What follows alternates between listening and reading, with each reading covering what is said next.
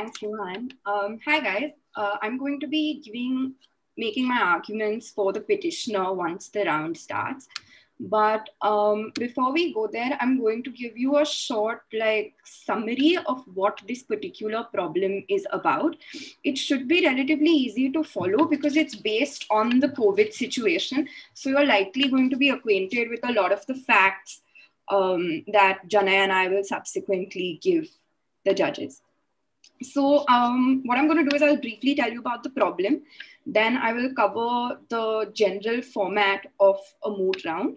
And then if like you have any, I can cover the law briefly. And then you, we can head to the actual round. So um, in this problem particularly, uh, what we're looking at one metropolitan city where there's been an outbreak of Captain Coon's disease, which is effectively a respiratory disorder.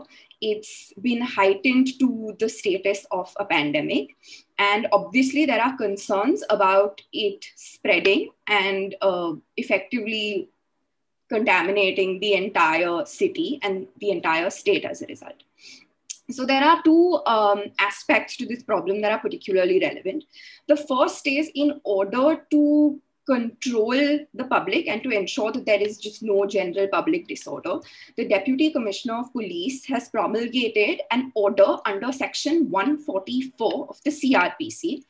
Um, Section 144 of the CRPC is also something that has been constantly um, promulgated during the course of the COVID pandemic in general. Effectively, it prohibits the assembly of five or more people at a given point in time. It also, it's effectively a preventive emergency order, which allows the police to control the situation at hand. Uh, this particular order has been promulgated. There are also specific um, there are also specific directions that the order gives and what, what generally section 144 orders are allowed to do for the purposes of this problem, the relevant bits are that this order prohibits the dissemination of information or of any derogatory comments towards a particular sect, and it prohibits the causing of any panic or confusion or mistrust towards the government. Now, all of these points become relevant in the course of the arguments, as you will see, because one side will argue that this order is too broad and it violates the fundamental rights of the citizens. And the other side will argue that it is not overbroad and it is, in fact, necessary in a pandemic, which is essentially a time of crisis. Having said that, let's look at fundamental rights itself. Uh, we're going to be looking at Article 19.1, which deals with the freedom of speech and expression in the Constitution of India. Now, um, as a general rule, all fundamental rights can be curtailed by reasonable restrictions that are enumerated in Article 19 itself. Fundamental rights under 19.1 are curtailed by 19.2. As a result, um, the second sort of argument that will be put for consideration is whether this particular order violates Article 19.1 or whether it constitutes to be a reasonable restriction under 19.2 of the Constitution. Uh, that's the brief overview of the problem. These are the two provisions of law that you'd necessarily require. So if you guys want to pull up the provisions in front of you while we're arguing, that would be good. Um, the second thing is that uh, this particular um, problem is has is effectively a PIL or a public interest litigation before the High Court. Um, so under the Constitution of India, the provisions that govern PIL litigation will be Articles 226 and 227, if anybody wants to look at that. Um, that's pretty much what the problem is. Um, as far as the format is concerned, it's usually the petitioner who goes first. So I will be speaking first. Then Janay the respondent will be representing the state. So he will go second. He will make a full set of submissions for 10 minutes. And then I will come back for two minutes to offer my rebuttals on his arguments. So that's usually the format. I think that's the format that you guys will follow as well. Um, and that's pretty much it. In case anyone has any questions, like feel free to ask.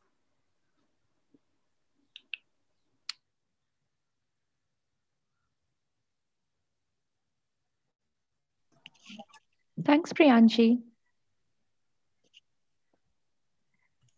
Yeah, thank you for that. Uh, we'll just be waiting for Janya to join and then we can begin with the round itself. Thank you.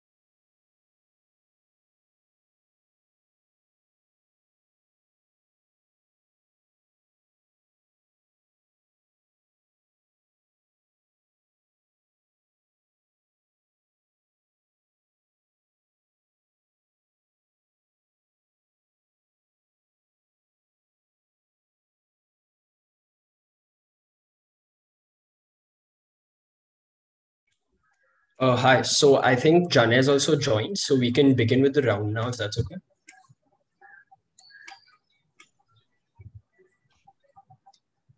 Sorry, sorry for the delay. I, I, I just got my bad.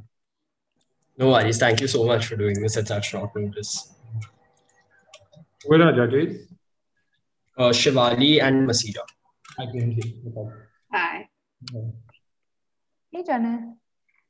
Hi, hi Shivali, how are you? All good. All well with the pandemic?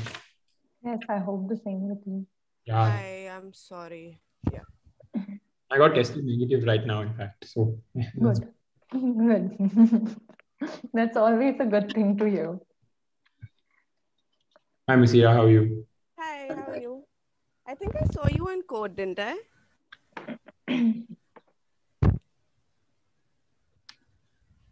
Am I audible? Yeah, yeah, I think Jana is like frozen. He's facing some technical issue.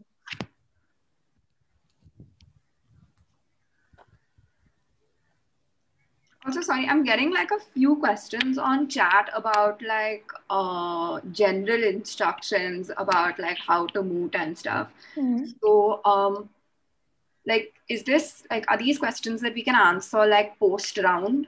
Yeah, Yeah. So, like, once they see the round, once they see, yeah, that they makes have like specific questions. That's the whole purpose of Yeah. A right? Like we're watching you live, like we're watching you moot right now. So uh, I think it would clear some doubts, and if there are Yeah. still some remaining which you feel have gone unanswered in the chat box, then we can address those. Has Jana logged out? Uh, yeah, Yeah, I think he's just trying to rejoin right now. Yeah.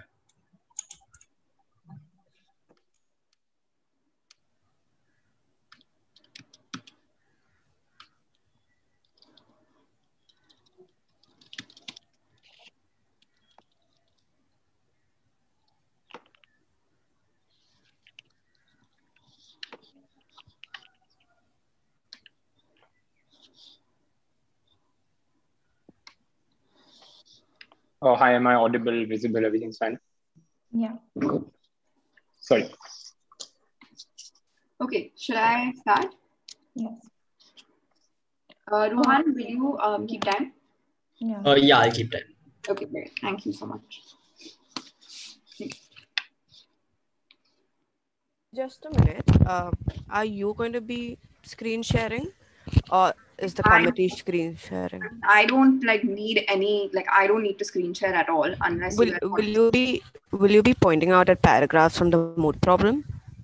Um, yeah, moot problem. I can um, take you to the relevant paragraphs, but I only. Uh, So if someone can just screen share that okay. and just keep it, you don't have to because you'll be arguing. If someone from the committee could just screen share it, so whatever Yeah. paragraph she points out saying, "I get your attention to 12," then you can just scroll. So Okay. someone from the committee could do that. Yeah. Okay, right. Just just give us one minute. We'll just ask someone to do that, and then we can start. Yeah, no worries. Take your time.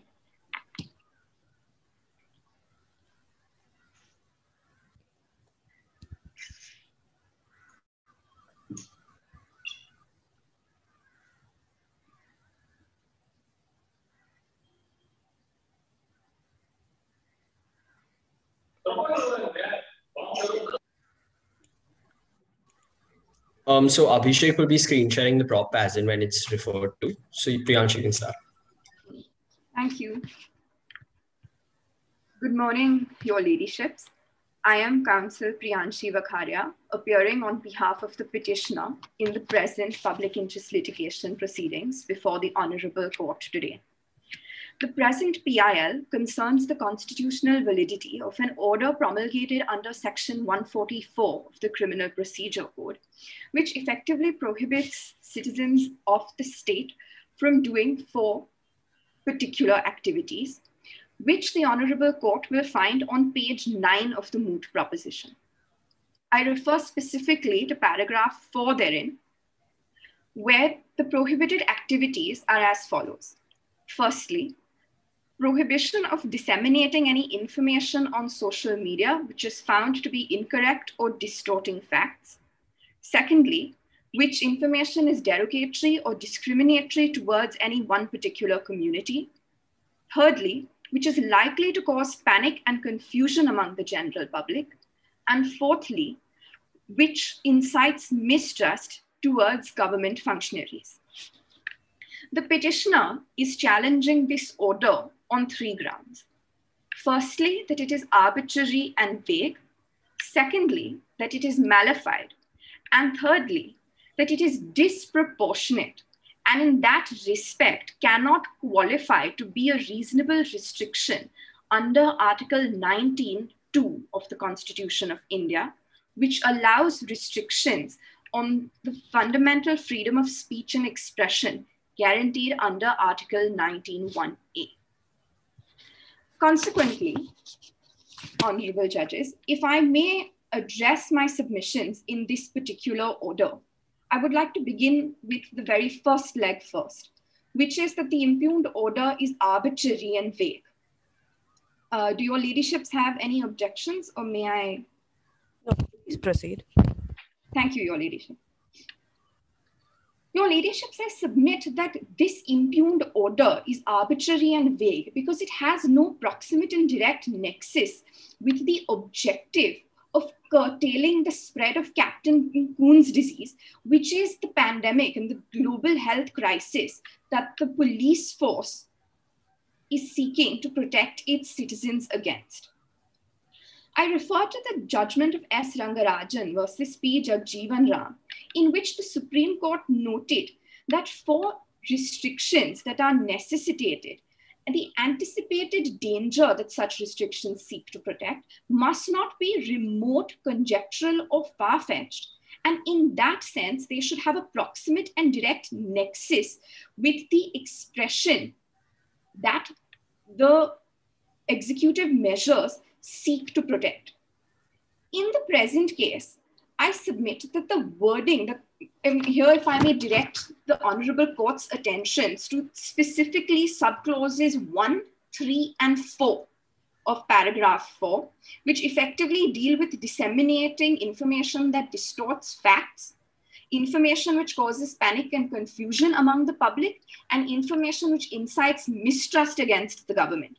These are very broad terms, and they are in fact arbitrary because there is no proximate or direct nexus that the police, that the deputy commissioner has justified in the course of his order. I also would like to draw the attention of the court to the case of Shreya Singhal versus Union of India, wherein the Supreme Court effectively recognized three stages of the freedom of speech and expression. The first is discussion, the second is advocacy, and the third is incitement. This is particularly relevant, your ladyships, because the reasonable restrictions under Article 19.2 only really kick in when the discussion or advocacy stage reaches incitement. In the course of the present order, it is impossible for the uh, deputy commissioners or for any executing authorities at all to really make a distinction as to when mere discussion or advocacy becomes incitement. I submit before your ladyships my, the second limb of my argument that the impugned order is mala fide. And the reason I say so is because it has been promulgated with the ulterior objective of restricting speech and expression entirely. Here, your ladyships, I would like to address the second subclause of paragraph 4, which is the prohibition of information that is derogatory and discriminatory towards a particular community.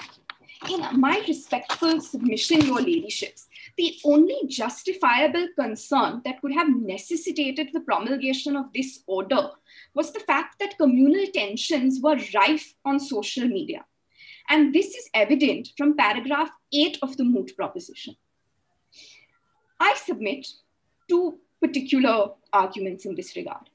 Firstly, that this could have also been tackled by taking recourse to specific provisions concerning hate speech under the Indian Penal Code, necessarily being sections 295A, 153A, sections 153B1C, which are all outlined with the objective of preventing the dissemination of derogatory remarks or remarks of such color towards a particular community. However, the order, I would also like to draw the Honorable Court's attention to the fact that this particular order was not promulgated until the 23rd of May 2020. And this is particularly relevant considering that the communal tensions that should have raised the concern of the Deputy Commissioner had already arisen towards the end of March and the beginning of April. If I may take the Honorable Court to a few paragraphs previously, uh, I refer specifically to paragraph 9, which the Honorable Court will find on page 3 of the moot proposition. The first positive case in the slums of Ringo was found on 1st April 2020, where the patient was a follower of the religion of Tarantino, Tarantino being a minority religion, which has often been the subject of discrimination.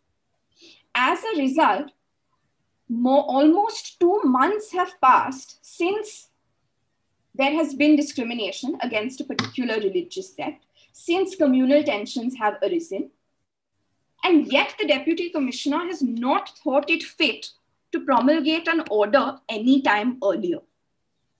As a consequence, your ladyships, we submit that this order has been passed with mala fide intent with some ulterior objective.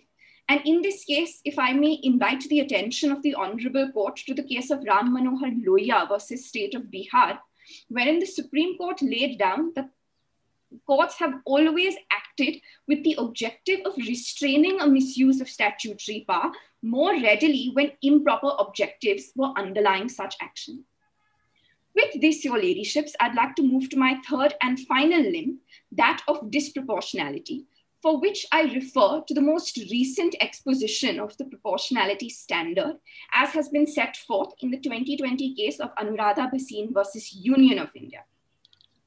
In Anuradha Bhasin, effectively, there were four prongs of the proportionality standard that were promulgated.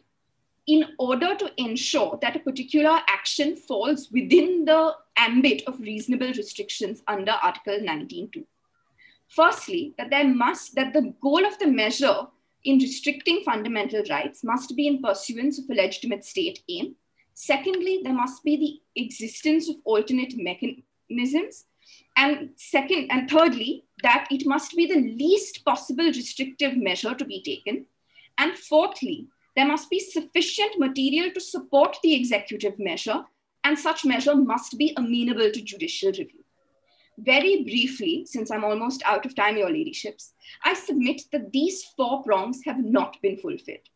Firstly, subparagraphs 1, 3, and 4 of paragraph 4 of the impugned order do not meet the legitimate state aim of preserving public order in a pandemic because there is no proximate or direct. Counsel, yes. If I may ask you a Yes, question, the objective of this order is to uh, reduce communal tension because now this virus has been given a color of religion. Yes. For for those reasons, it's very obvious that this can raise tension, and for this reason, as a precautionary measure, it is, in my view, absolutely necessary to take steps in a way that will reduce such tensions. So there is a clear view, and there is, and this is the most restrictive. This is the least restrictive step that could be taken. Uh, Your Ladyship, if I may, I'm sorry, Your Ladyship, um, have you concluded your question? I'm sorry. Yes. So I'm- in that sense, it fulfills the criteria that has been raised, the four object, the four tests that you have laid down from Anuradha Bhasin. Uh, in that sense, how, in what way would you say that it still does not Yes. uh, fulfill the test? Thank you for your question, Your Ladyship. If I may just, uh, since I'm out of time, if I may just take about 30 seconds to answer your question and then conclude my submission. Sure. Thank you, Your Ladyship. Your Ladyship, I respectfully submit that this is not the least restrictive measure that could have been taken. Firstly, because the impugned order was enacted almost two months after communal tensions first arose, indicating that the necessity of the measure itself is liable to be questioned.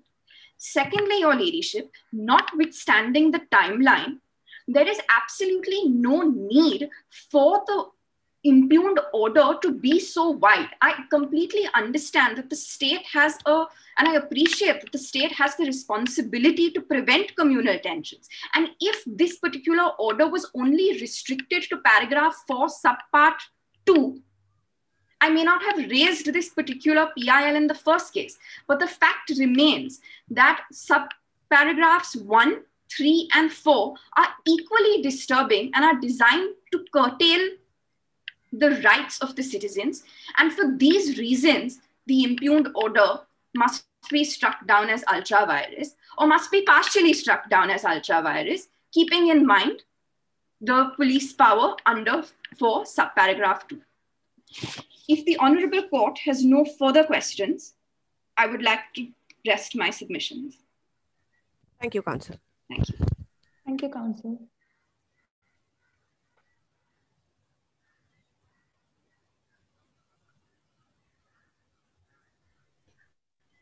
Excuse me. Uh, may I begin? Yes, Counsel. May it please this court. I'm counsel appearing on behalf of the state of Binoki in the present matter, and I will be making three submissions. Firstly, that the present petition in itself is infructuous. Second, alternatively, even if the court were to consider this petition to still be holding of some fundamental right violations, it, it does not fall under the prongs of Article 14 and secondly, Article 19. Firstly, under Section 144.4 of the CRPC, any order under Section 144 shall only remain in force for a period of two months. Herein we see on page 4, paragraph 10 of the moot proposition, that this order in itself was issued on the 23rd of May 2020, and the two months have ended on 23rd July 2020 itself. Therefore, we see that in the present proceedings, this petition, this 144 order in itself has elapsed, and therefore the petition raised by my learned friend is now infructuous. I would like to draw this court's attention to a judgment of the Bombay High Court in the case of Geeta Seshu versus the Commissioner of Police and another. This was a case which came up in the pandemic itself in 2020 pertaining to an order under Section 144. Herein, that order was for a period of 15 days.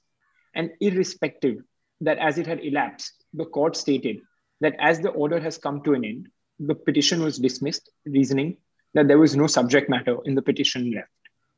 However, alternatively, I will still be dealing with the arguments raised by my learned friend, first on the prong of Article 14, and second on the prong of Article 19.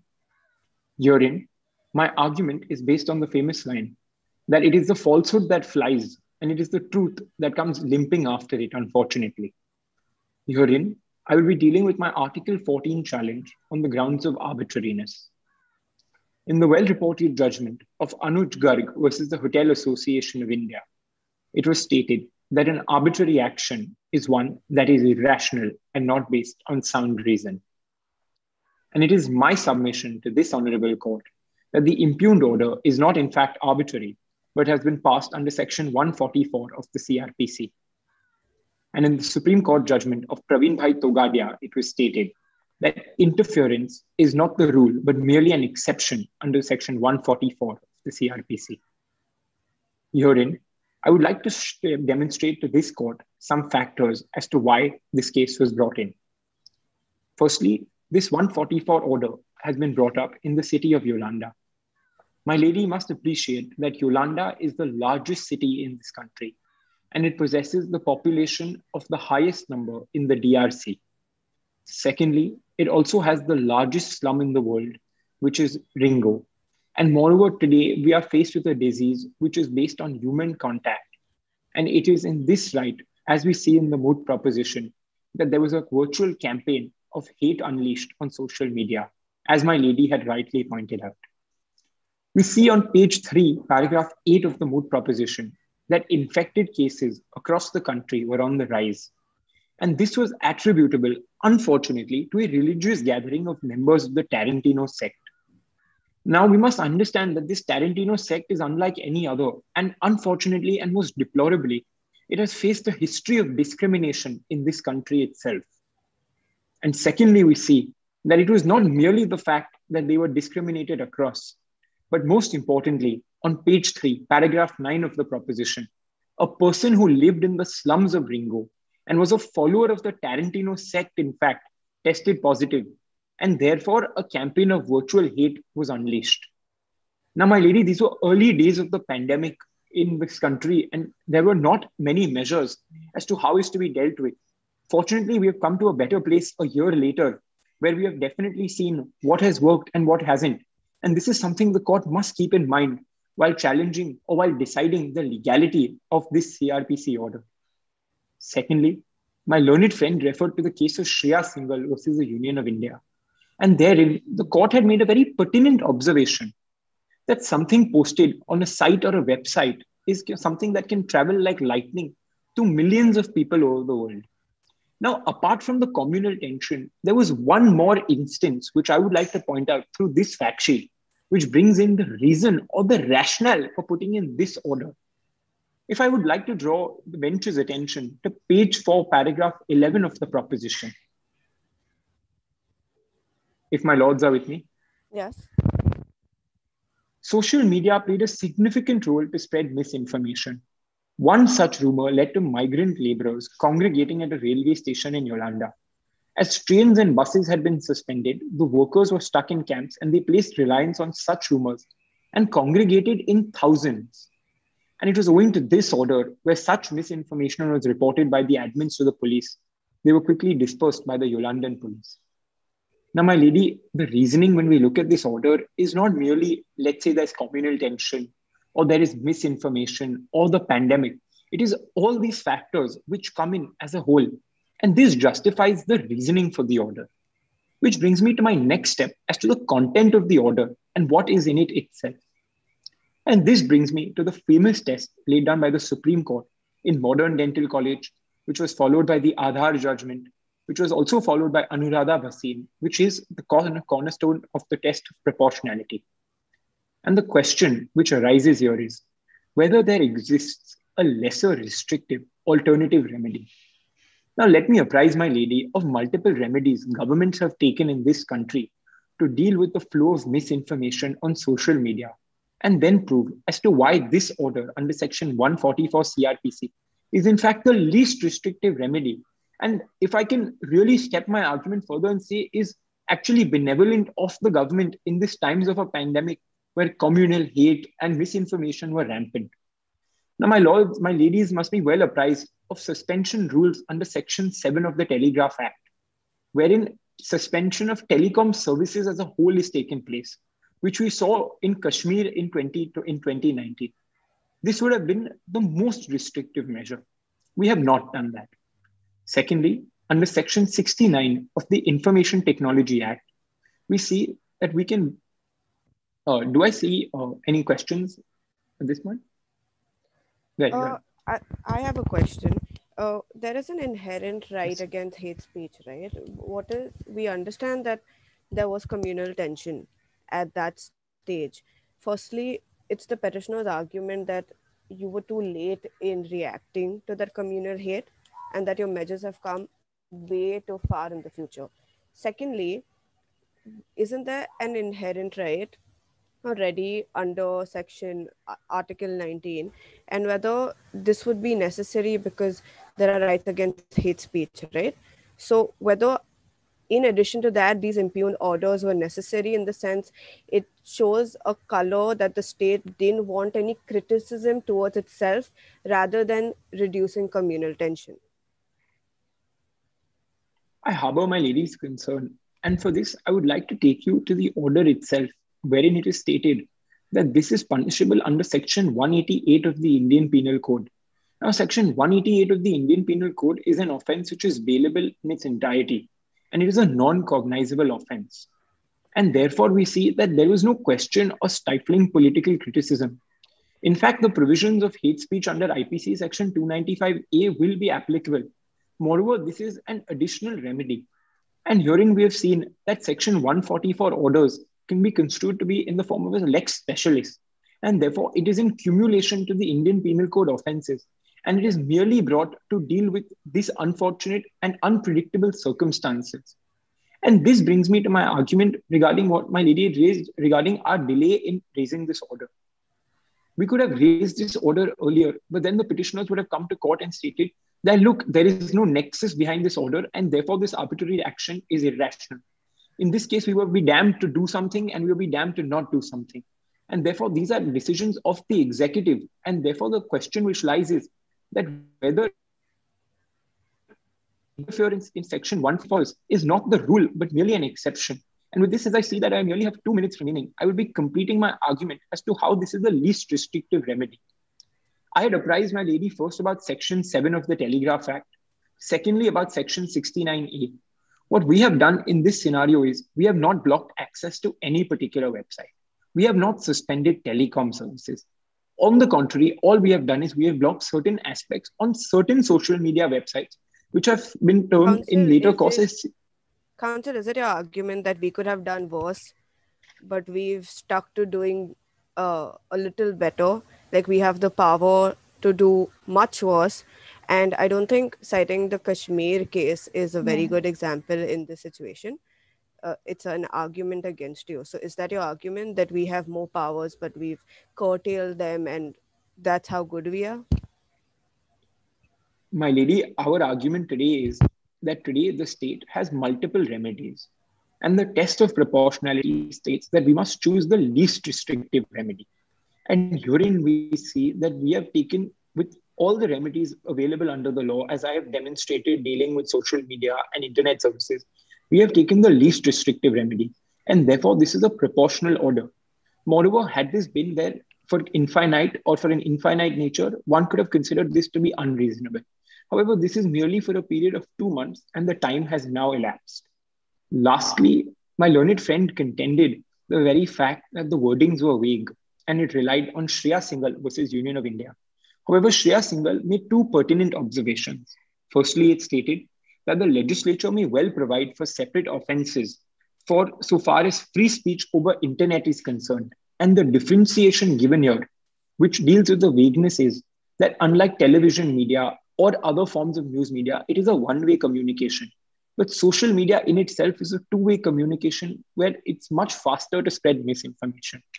And secondly, even if I were to take my learned friend's best case argument pertaining to the wordings being vague, there was a very interesting case of Zamir Ahmad Latifur Rahman Sheikh versus the state of Maharashtra, where the term expression insurgency was left undefined.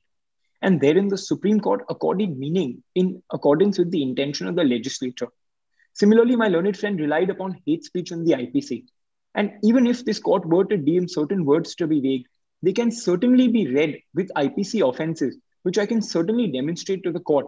However, as I see that my time has now elapsed, I would like to conclude my submissions with a simple prayer that this petition in itself must be dismissed because it is infructuous and it is merely at best to say an academic discussion because the contents of the order are not in force anymore. And secondly, even if the court were to decide this argument, we have not breached Article 14 and Article 19 as these were desperate times and therefore we must be excused.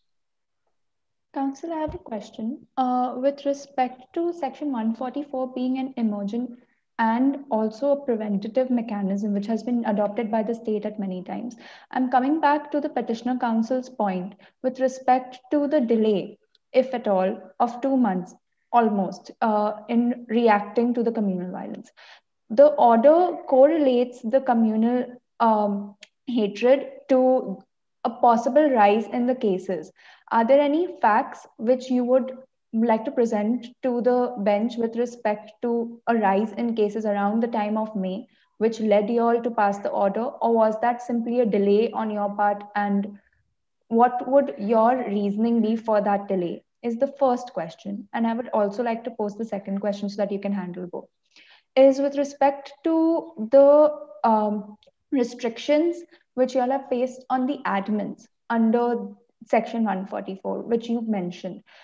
Do you think it is just to impose a vicarious liability on the admins for any kind of comments and speech which comes under their posts? And is it not, as per your understanding, the liability of the platform which is used? Rather than that, has there been any differentiation in what social media platforms, how an admin of different social media platforms would work? Uh, firstly, thank you for the questions. I'll be dealing with them very briefly as I see yes. that the bench has been more than generous according me time.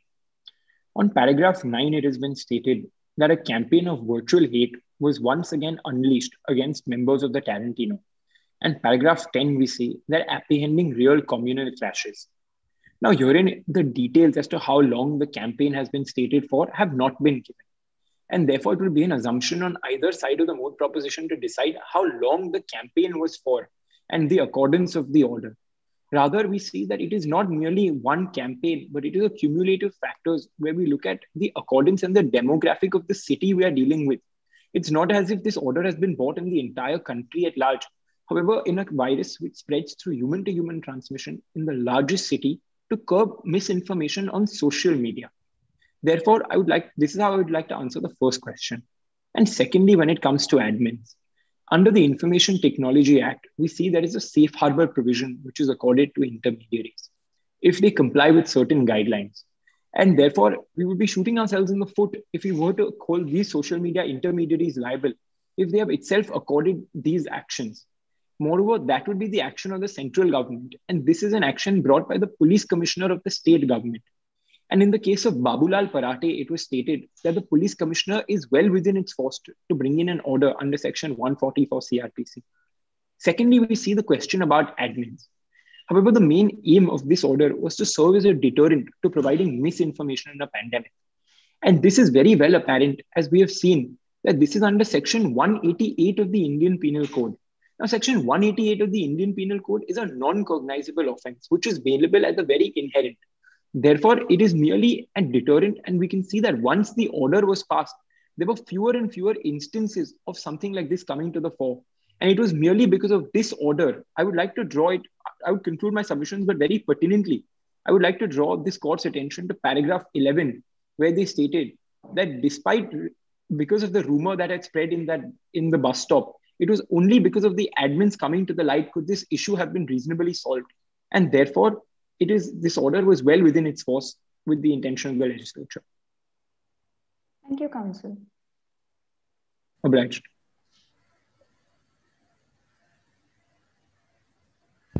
Counsel, before you proceed, Pri- uh, Priyanshi, I also want you to answer this question: whether what are your prayers, and whether you can uh, seek these prayers under Article 226, and you've mentioned even under Article 227. Yes. So after you've done dealing with uh, the respondents' issues, right. you can also deal with this question. All right. Thank you, Your Ladyship. Uh, if I may very briefly address my learned friend's concerns. Firstly, uh, I understand that the impugned order itself has lapsed by way of the two month timeline as prescribed in subsection 4 of section 144. But if I may submit for the consideration of the Honorable Court the case of State of Bihar versus KK Mishra, which decided exactly this point and said that if the vires of an order is being challenged, whether or not that particular order has lapsed due to an efflux of time is irrelevant and will not constitute a bar on any proceedings thereafter, and that such order is still liable for scrutiny under Part 3 of the Constitution of India. Therefore, for the purposes of maintainability of this PIL, it does not matter that the impugned order lapsed on 23rd of July. It is permissible for this court to consider its constitutional validity. My learned friend also referred to the case of Geeta Seshu, wherein the Bombay High Court effectively rendered a judgment in the context of social media administrators. And this is particularly relevant, Your Ladyships, for two reasons. Firstly, that the reason the Bombay High Court disposed of those PILs was because the order itself had expired. That had nothing to do with the actual validity of the contents of the order itself. Secondly, your ladyships, that particular, um, the Bombay High Court's judgment in Geeta Seshu was rendered on 10th July 2020, immediately after the order itself was promulgated on 23rd May 2020. So before the two month timeline really elapsed as per subsection 4. For these reasons, the judgment of Geeta Seshu will not have any persuasive value before this particular court. I understand that my learned friend also addressed certain submissions on arbitrariness under Article 14. But if I may just clarify that the petitioner in this regard has not made any submissions on the right to equality under Article 14, we simply submit that the impugned order contravenes Article 19, which is the right of freedom of speech and expression. Therefore, any arbitrariness that any arbitrariness that falls from the order under Article 19 is liable to be restricted by 19.2 if it fulfills the proportionality standard. Now, in defending the proportionality standard, my learned friend submitted that this was, in fact, the least restrictive measure, and that the sections of the IPC could be read along with the provisions of the impugned order. To which my simple rebuttal, your ladyships, is that the mere fact that an offense is bailable and non cognizable is not sufficient to wrongly imprison individuals when the order itself is submitted to be vague, arbitrary, and made with mala fide intent. With this, your ladyships, if I may address your question, briefly, the petitioners, and I understand we are at a preliminary stage in making submissions. Therefore, I submit that for the purposes of this proceeding, the Honorable Court will have the jurisdiction to hear and entertain the present PIL. Your Ladyships, I see that I'm out of time, so if I may just have 15 seconds to answer no. the question. Thank you. Therefore, as a result, this petitioner prays that this particular PIL be taken up by the Honorable Court and that either the impugned order be struck down as being ultra vires or those portions of the impugned order that the court finds to be ultra vires are, stuck, are struck down, leaving enough for the police commissioners to execute their constitutional duties. These prayers have been made under the jurisdiction of Article 226, which allows the High Court's writ jurisdiction. And as a result, the petitioners would like to conclude their prayer. Which writ are you seeking for? Um, your ladyship, this would be a writ of prohibition because effectively you would be prohibiting the uh, deputy commissioner of police from undertaking certain actions. Okay. Thank you, your ladyships. Thank you for giving me a very patient hearing. Thank you, counsel. Wait, do I get a rebuttal? No, I think we stop at rebuttal and not sur rebuttal. It's just gonna go on forever. Yeah. If that's All right, thank you so my much. co-judge. Is that fine? Should we stop at rebuttal? I think we should stop at rebuttal. Okay. And uh, we can Yeah. let them know that in general, sometimes the bench allows a sur rebuttal. However, that's not procedural. Thank you, Right. counsel, Um, for your argument. if the juniors have any questions, um, y'all can put them in the chat box now. And um, yeah.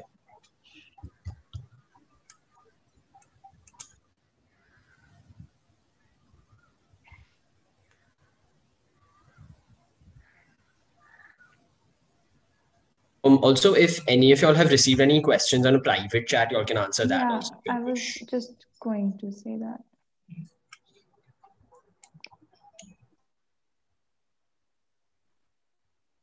Priyanshi, you received a couple of questions with respect to mooting, right? Like, have they all been answered, you think? Yeah, yeah, yeah. I should I just like go in order, like of how I've received them because I haven't like replied to them.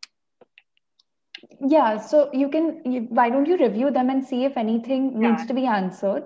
Uh, and then we can address that. And I see questions starting. So, Ruhan, I think you can start reading them out and then. Yeah. Okay, great. So, uh, Priyanshi, do you want to start with your questions or should I start with these ones first? No, you start reading them. Um, Okay, fine. start reading them. I'm sure like they'll pop up because I Okay. already see a couple of similar ones.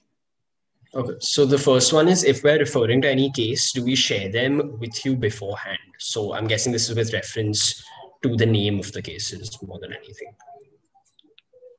Okay, so the way it usually works is that, um, and again, Jana and I could have different perspectives for any question, really. So you, it's Yeah, that- what you choose as a mooter.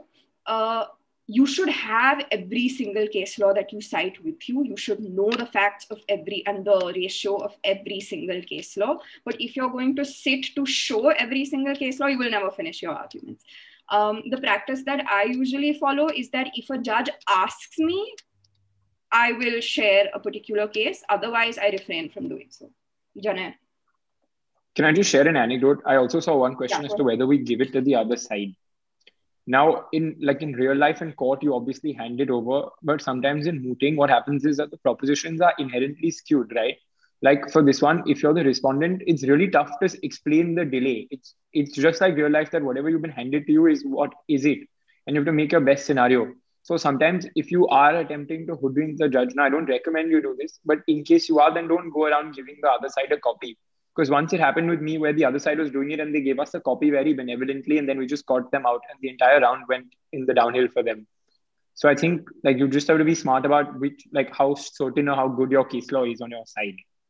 I think being like finally being on the other side of mooting, I'm realizing why it's necessary for your for the mooters to give a copy of the judgment because Yeah. it stays with the person. I I see a lot of like both of y'all citing stuff. It's very easy to lose y'all. So if it's important, something that's laying down a test, right? I would prefer if either someone would have see now the point is you cannot tender a judgment to your judges, right? So what you can do instead is just screen share it. Because if someone reads it, it stays with that person longer. So like Priyanshi said, please don't do it for every single judgment that you're citing. Yeah. You don't have that much time. But definitely if it's important to your case, do tender it, do screen share. And uh, eventually, after that, I mean, once your properly mooting and it is an internal mooting, you will be preparing your bench memorandums. And in that, you'll usually include all case laws which are relevant.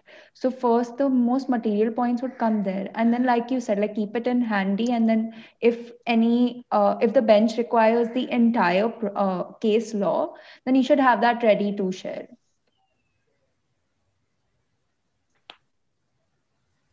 Then the next question is could the respondent reiterate on his answer to the ladyship's first question regarding the delay of the order? So, Janet. Uh, okay, so I'll tell you. Should we? I, I think we should just stick to like procedural, right?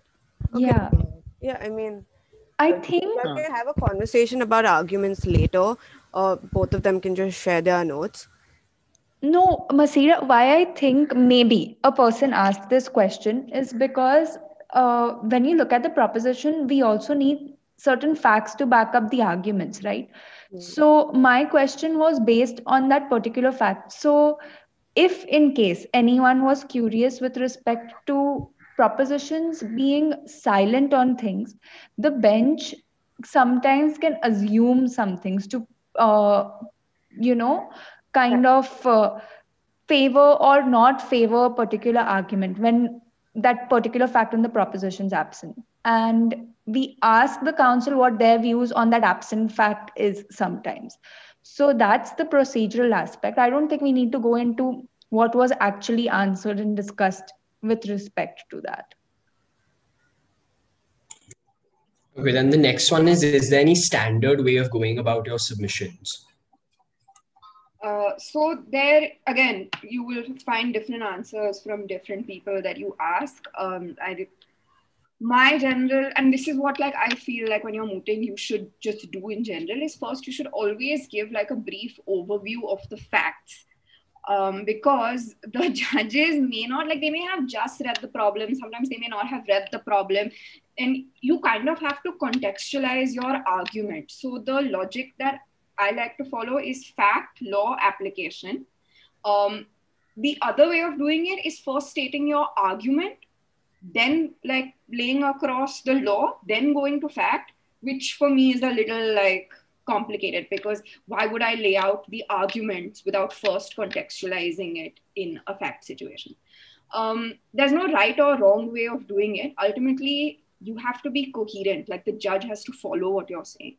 So, whatever works for you and sometimes Just even the one. bank directs you to if like a counsel starts saying facts a lot of times i've seen that the bench says no i'm aware of the facts so like move towards that so like you said it should be coherent and maybe sometimes even at that moment the flow of your arguments might change based on how the bench is receiving it just one more thing like and this is one thing i've learned over time is that always try to prepare a roadmap of your arguments, right? So today, like what I did is that look, petition is infructuous 14, 19.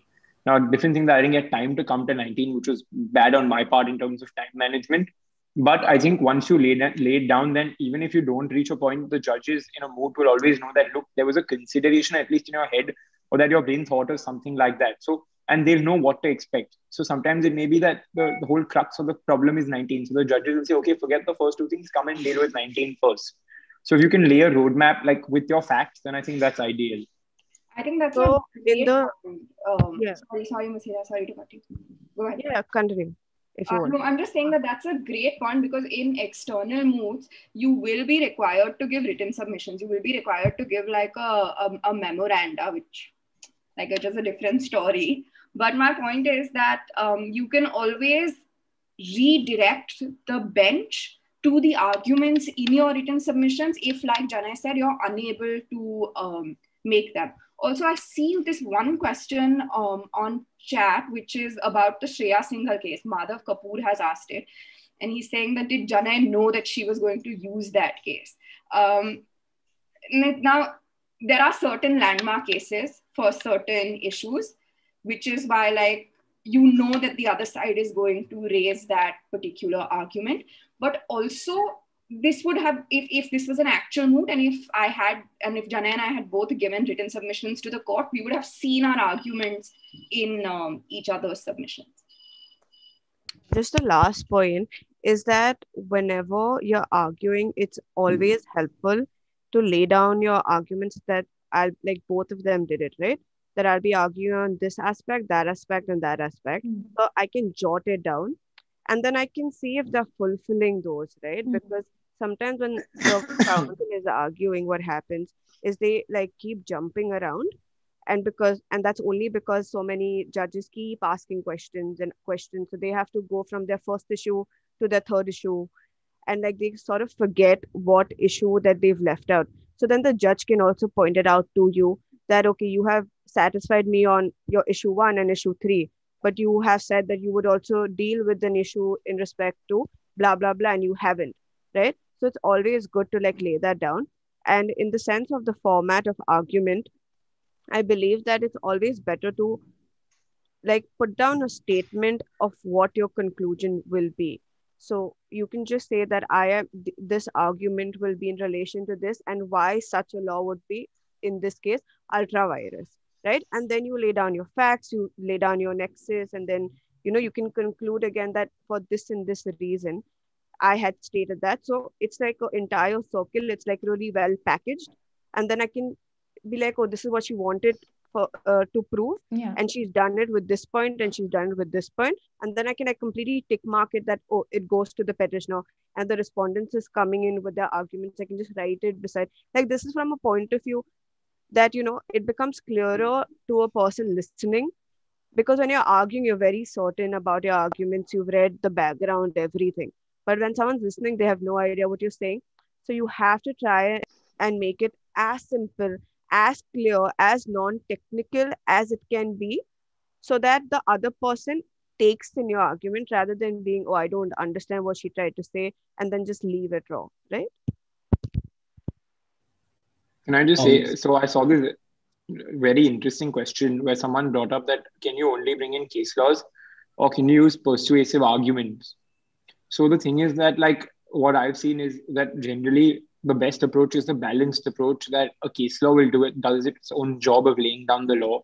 Like a test or something you cannot make out of logic, you will have to refer to that from a case law. But certainly, when it comes to advancing certain points, or when you have to win over a person, at the end of the day, the judge is also a human being, right? So you have to tug at their logic and what they think is right. And one more thing that you can do here to push your arguments persuasively is that one question Masira kept asking Priyanshi was pertaining to the fact about uh, the Tarantino sect, which is a reference to a certain community in our country being uh, demarginalized.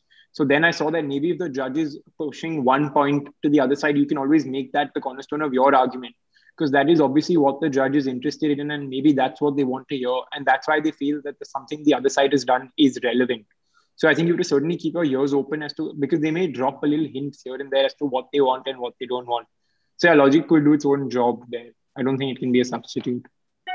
also that's um also you have to use case law for very specific purposes so for example um, this was something that jana and i both relied on was and the proportionality test which was a pro, it, it's basically a four prong test laid for in a judgment called anuradha bhasin okay now everybody here like all four of us know what the test is. So if you notice neither of us really spent any time laying down that you know the test says a b c d. But what the judges were more interested in knowing is how it applied to our case so my case was that we don't fulfill the criteria or the impugned order doesn't fulfill the necessary criteria and janai's case was that no it does so for those of you who are listening closely the entire like argument turned on the fact that janai said that it's the least restrictive measure which is one prong, and I said that it's not the least restrictive measure. So you do rely on case law, but you can also use a lot of other material to make the same point, even with respect to, like, say, discrimination, where you're effectively saying that, look, like the government is effectively saying that, look, there is so much discrimination, there, there's communal tension that is rampant. How on earth am I how on earth can I possibly do anything less restrictive than this? So it's, as Rana said, a fine balance. Um, one other Also- question is what if by chance we cannot answer the judge's questions? It's going to happen. It's going to happen. happen to all of us at Yeah, some point. I'm like- it's it's going to happen like the you know, don't like worry about it if you, you can always say i plead my ignorance and it's fine um, as long as you're not pleading ignorance about something that is very very basic law And also, I mean, definitely you can faff a little bit. I mean, obviously to an extent, okay? Uh, It's not always, and like, don't take this to be absolute in any sense, but it's not always that the judge knows more. Okay, there are times when they're going to ask you a question that even they don't know answers to. You can, if, and obviously this is so subjective to who your judge is, what round, like if you're in your like prelims and you know if you can understand oh the judge is not like well versed and some like ridiculous act that we're talking about. Not like the con- don't bullshit about the constitution everybody knows the law. But uh, if it's something very niche right and you've read so much about it but uh, you you are certain that okay the judge hasn't read so much about it. So if you can in in the most you know like subtle manner this is not or you can you know redirect them but do it to an extent. Don't piss the judge off by saying absolute bullshit where you know they'll catch you. Try to plead your ignorance as like least as possible right? Like obviously if it's like a very direct question it has a direct answer and you have no answer to it you can you can say i'll get back to you that's all right. And if you have your rebuttals and stuff after that you can actually look for the answer in in your judgments or in the like bare acts and stuff and get back to them even in your rebuttals. That's all right. That still shows that you know you had your material you've gone through it and you could answer you've understood the question. But uh, if if it's like very direct then don't bullshit. But if you can maneuver around it then try to do it to like the best possible manner that you can Right. Uh, just to add one thing, then like this is one thing that I've seen like someone do really badly is don't try to hoodwink somebody also. Don't give a wrong answer. It's better to say, look, I'm sorry, I don't know something. You'll probably be respected more for that. Because you know, if you work for three months on a problem and if you really can't answer a question, it certainly means that the question is tough most of the times. So that time, a simple sorry, I can't is better than lying and getting caught because then in a round, once you've been established that you've lied, there's no coming back. Like it's the biggest fall from grace you'll see. And secondly, at times, if they ask you a factual question like what Shivali did, now it's not 100% recommended, but you can just take them, like say the first point and then take them on another tangent. Sometimes it may work, sometimes you may get thrashed also about doing. So it again depends on judge to judge as to what it is. facts are silent what you can do like this was obviously a maharashtra india sort of uh, uh connection right you can take the actual like Yeah. statistics facts that's happening in india maharashtra to a limited extent not to the point where you know it like hampers the entire case that oh there's a judgment already passed on it it's been decided and you know so there's nothing this court can do that's that's like stretching it to a ridiculous amount but at the same time if the fact sheet is silent on it and the judge is asking a question which you might have an answer to in the real sense you can put forth that answer and if your respondent is smart enough or the petitioner is smart enough they may point it out that the fact sheet is silent on this but if they don't then you know you go scot free so it's a win Even with respect to the real life examples, I think that's also a question which is coming up. Uh, you can always talk about things that are happening in other jurisdictions to supplement your argument. It's just a reference, and if the judge or the bench does not want to hear it, they'll obviously ask you to stop. But uh, not just to fill in the gaps, but also to relate it to any other similar facts uh, in any other case, I think you can make reference to that as well because someone just asked, "Can you talk about the Kashmir issue?" And yeah, you you can as an example uh, to because eventually we're just making it as a reference. It won't. It, there's no problem in doing that.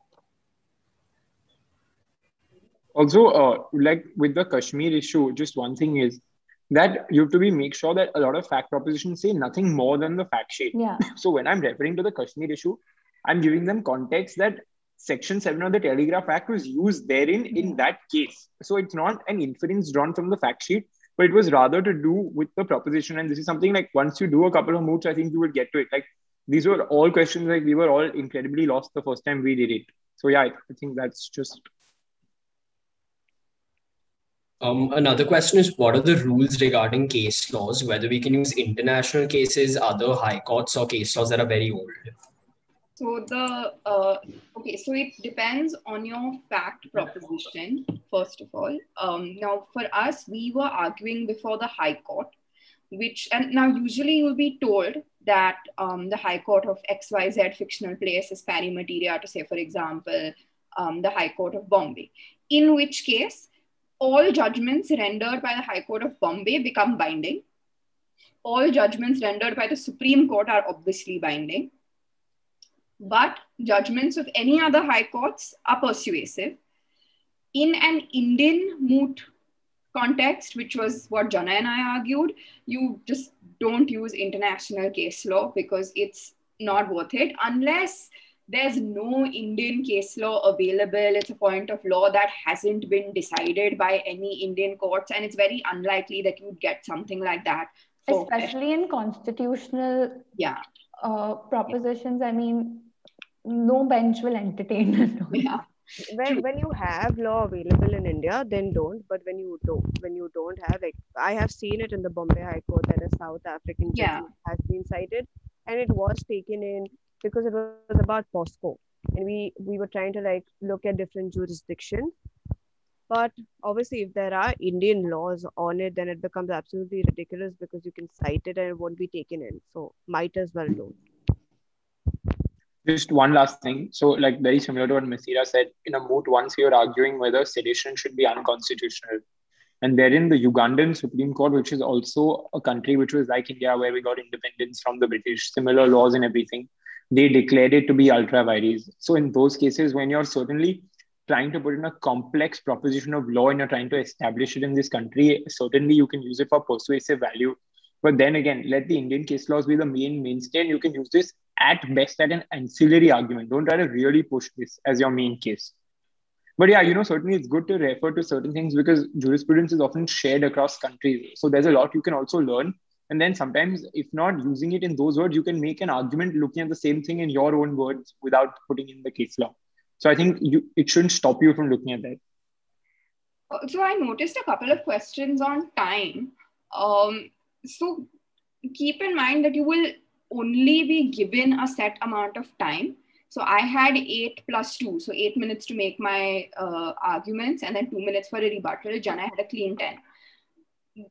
You're supposed to stick to that time. Indian moots are a little lax with respect to time uh, because you know Indian judges are a little more flexible like that. But when if you end up doing international competitions, 15 minutes means 15 minutes. They will count second to second. If you get 10 seconds extra, the other guy will get 10 seconds extra.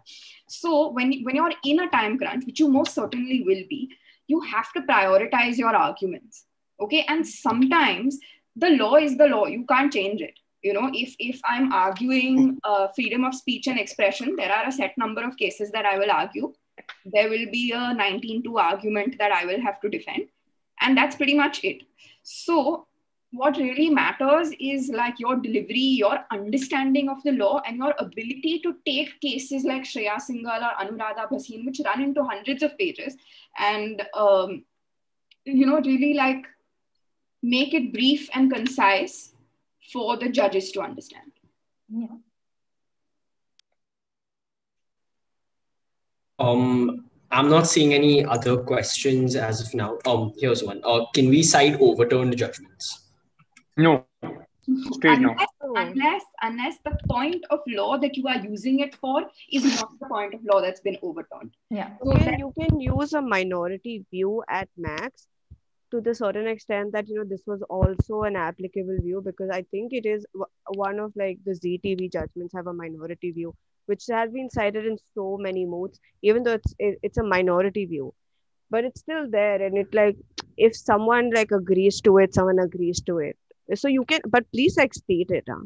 like please state that it's a minority view or the judgment as a whole has been overturned but this point wasn't things like that. Like if you bring clarity to the judge then he's not going to like think you did not know that and that Hmm. you've come before this bench without knowing that fact you should just point it out that i know that it has been overturned i know this is a minority view I am relying on it for so and so reason only. So then it's clear, and then you can definitely cite it. In fact, uh, Masira, to add to that, a lot of times even the courts rely on overturned judgment in the, with respect to a point of law, like Priyanshi said, which is not overturned. So if you feel like you're going for that argument beforehand, then I think you could do a little bit of digging in and see if other courts have also relied on that point of law which you are going to, which has not been overturned. So I think that just adds to the persuasive value of you relying on that particular uh, judgment for that matters. So I think taking precaution with respect to that, and like she said, be as clear with the bench would probably be your best bet. Also, if there is an overturned judgment and there is a point that has not been overturned, there's a possibility that you will find other judgments. That's that what I'm saying. Yeah, that's exactly what I'm saying. That you find other courts which have relied on the not overturned point because they do that often, actually. Also, uh, Um, I just got one question, uh, one second, one that uh, what I was writing a couple of times, so I can just show it to you. I was just frantically making notes on what Priyanshi was saying. So, like, that was just, uh, so it's all about that you're trying to respond to the other person's points, right? At the end of the day, like, it's a fancy debate where you're trying to make sure that your point stays. So, unless you won't know what the other person is saying, you will not be able to engage with them and make sure that your point works over theirs. So I think that's and I think that's what Priyanshi was also writing as well. We are just writing the other person's arguments down. that uh, um, it's always good. Um, and I think I think Jana only mentioned this earlier that it's it's it's nice to have a roadmap of your arguments. So when you sit, like obviously you'll have like your arguments with your case law and everything, but when you're actually in a round, I can't. Oh wait, I can show it you guys. You should literally like this is what I had written down. If you guys can, which is literally just the three arguments, the main case law, and that's it. You should not be flipping pages in front of the bench. hmm. Once I got feedback from a judge saying me flipping pages was very violent. So I, I completely agree with what Priyanshi says. Don't ask, man. So yeah, I, I think um, now that mooting is virtual because you can hear the um, so yeah. it's so much worse. Because in in reality when, when you do it in person you're at least standing like some distance away. So you can flip how much ever you want. The noise will never bother the judge but now apparently the noise is also an issue. Also just one side note, and I think like we can probably conclude after this is that yeah. when you're like online and this is something i made a mistake in in this session that i think at first i was a little faster but i think that's all like you'd probably realize that because it's much harder to keep track of how fast or slow you're going online because you don't really see the person there. So like whatever your normal speed of speaking is just try to go a little slower because it's always better to be like a little slower than faster because the other person may not understand what you're saying. So just take care of your pace especially when all of y'all are doing freshers because i think that will matter a great deal. Also, connectivity issues. I feel like when some people like go fast, and then it's such a big issue nowadays uh, with respect to virtual hearings. I- please don't worry i'm sorry i'm sorry Shwari, just on that No. note like please don't worry if you have connectivity issues like judges will understand like they won't Yeah. shout at you Yes. um if you like I mean, high court judges right now are having uh, a connectivity issue. Yeah. I'm a hearing which we attended like two, three days back. The connection just went. You can't do anything about it. I mean, um, so sorry this they Just- just put one question yeah which please never never never read like read out like from a piece of paper. It's very apparent especially virtually because like you can only see like the speaker's faces. So if my eyes are moving you will be able to tell that i am reading something off my screen. So please please please don't do that alternatively also don't memorize your arguments because if you memorize something you will be so it's like this. I have a structure right? In my head i give the facts i make arguments one two three i make my conclusion then i come back and i rebut point and i rebut points a b c that jana raised right? That is a fluid format. I have to be flexible because the judges will ask me questions. And if I've memorized my arguments, I will not be able to move left or right. I will not be able to be flexible. So please don't do either. Um, one last question we got from YouTube Live is uh, Do judges really catch you if you by mistake cite incorrect authorities? And what do you do in those situations? See, that's what I said. See, I, I- don't always assume that the judge is smarter than you, which is a good thing and a bad thing at the same time. So you can bullshit, but see, whatever we're saying in regards to like the rules and procedure that we follow is to the extent like it's not absolute. Like this does not uh sort of uh like every moot is different and this won't be like an like a rule for every moot so you can really see so something like something where you realize that the judge is not like it's a niche piece of like legislature okay something like constitutional law like priyanshi said there are certain judgments that everybody knows about and you really can't bullshit right? But there are so firstly when you cite something wrong which is obvious they're going to catch you right away.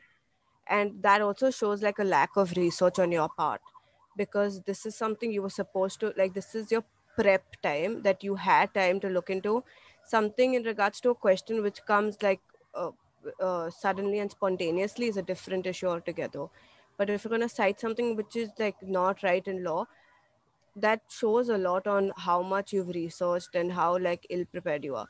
So always don't like that shouldn't ever come up. If like if that happens that's a bad thing.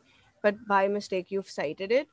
Don't if the judges don't point it out don't sort of like you don't point it out saying oh sorry this was not it or on those lines. Yeah. And just one thing, like it's okay to misspeak sometimes, right? Like sometimes a word may come out of your mouth again. Sometimes you may say the same sentence twice. That that's fine, right? That happens, and like we're still learning. We're still in our fourth year and fifth year. Like I've seen people who have like in court when I was interning. Even people with like 30 years of experience have misspoken at times. So don't beat yourself over that at all. Like if that happens, that's completely okay. And also, since this is literally a demo moot, I feel like just as a matter of practice, uh, you should avoid not you should avoid not knowing your case laws. You need to know your citations completely. Like start with since this is the first time you will be starting, I think you all should make it a practice to know your case in and out. And when you're citing judgments, even if it's two, know the ratio of it, know uh, which court it was in. I mean, start with the right footing and then use Masira's logic, which is that judge see how the bench is whether it's a niche point of law, and you can see if you can navigate the situation if you've misspoken or you don't know the answer to. But as a practice, since you're starting, I'd really recommend studying your case laws properly because that a huge you place a huge reliance on them during your arguments. Um, I think that's all the questions we have. I'd like to thank Ms. Shivali Srivastava and Ms. Masira Sheikh for sparing their valuable time for judging this. Also, Ms. Priyanshi Vakharia and Mr. Janeja Jain for participating and answering all the questions. Thank you so much. Thank you. Thank you, Rohan. Rohan. thank you for having us